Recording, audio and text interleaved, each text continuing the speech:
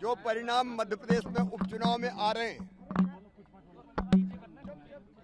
वो भारतीय जनता पार्टी के लिए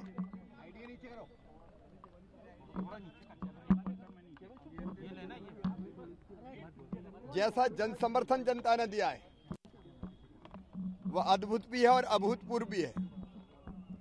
मैं अभूतपूर्व इसलिए कह रहा हूँ कि खंडवा में तो हम जीत ही रहे लेकिन जोवट विधानसभा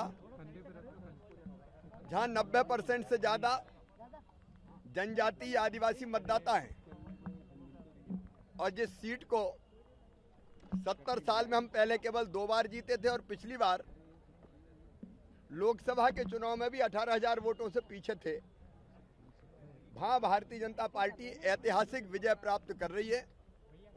वो विजय जेवट अकेले की विजय नहीं है। वो जनजातीय भाई और बहनों का भारतीय जनता पार्टी के प्रति पैदा हुआ विश्वास है।